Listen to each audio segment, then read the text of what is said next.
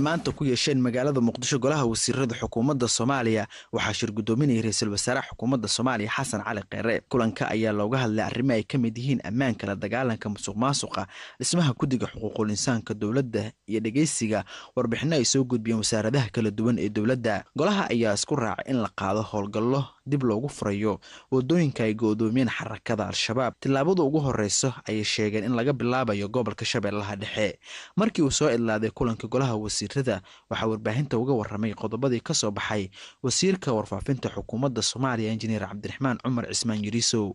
arrimaha looga hadlay waxay ahayd kow maamulkii maareynta maaliyadda amniga ee warbixin oo ra'iisul wasaaruhu ka bixiyey muxuuha shirkii madasha iyo go'aanadii ka soo baxay warbixin shaqaalaha rayidka ah qorshaha ka hortaga musuq maasuqa oo la horkeenay golaha wasaaradda dhalinyarada sboortiga oo laga dhageystay warbixin iyo muxuu ahaa guddiga xuquuqul insaanka dhismihiisa. Haddaan ku hormaro maamulkii maareynta maaliyadda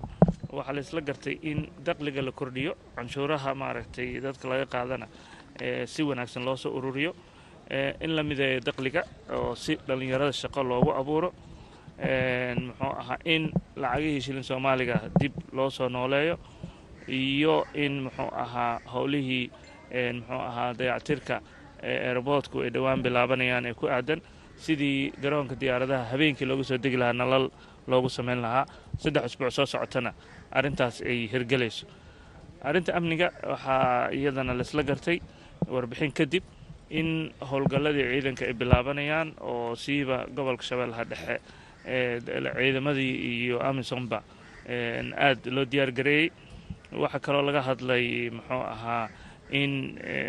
si wacyigelin bulsho dadka loogu sameeyo in bulshada iyo laysku xiro muxuu ahaa hay'adaha amniga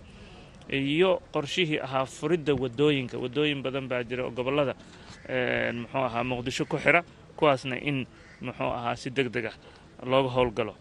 Kulanka golaha wasiirada ayaa ah mid toddobaadla ah waxaana looga hadlaa waxyaabaha u qabsoomay wasaaradaha kala duwan ee dowladda